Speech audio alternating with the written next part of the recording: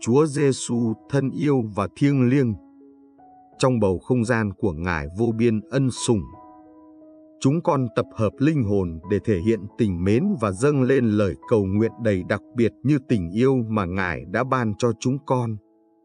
Chúa là hình mẫu của sự tuyệt vời và trong Ngài, chúng con tìm thấy sự an ủi, sức mạnh và hy vọng không đổi chúng con đứng vững và biết đến sự hiện diện vĩ đại của Chúa Giêsu và chúng con ngạc nhiên trước tấm thảm thiên đàng của sự sáng tạo mà bao quanh chúng con.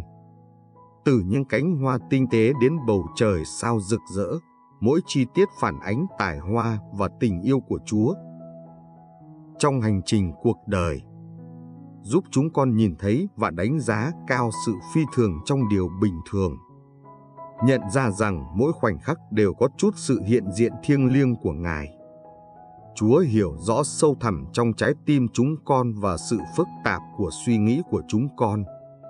Trong lời cầu nguyện này, chúng con đưa ra những giấc mơ, nỗi sợ hãi và khát vọng của chúng con. Xin ban cho chúng con sự táo bạo để mơ ước một cách táo bạo vì với Ngài, mọi điều đều có thể. Cùng với đó, cho chúng con sức mạnh để vượt qua nỗi sợ hãi, nghi ngờ và nản lòng. Giúp chúng con bước vào sự trọn vẹn của mục đích và sứ mệnh của chúng con khi chúng con điều hướng qua những điều phức tạp của cuộc sống.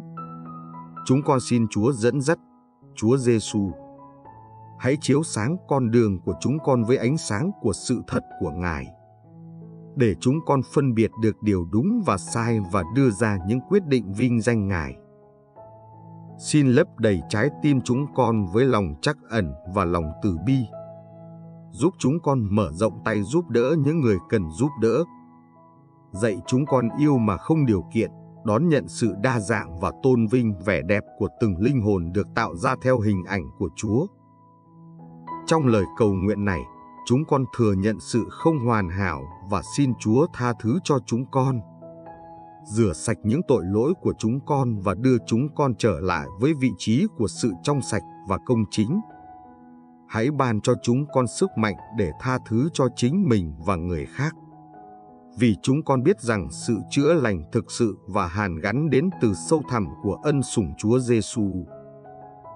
Chúa Giêsu, chúng con cầu nguyện và xin Ngài lắng nghe và trả lời những cầu nguyện của chúng con theo ý muốn Thiên Chúa.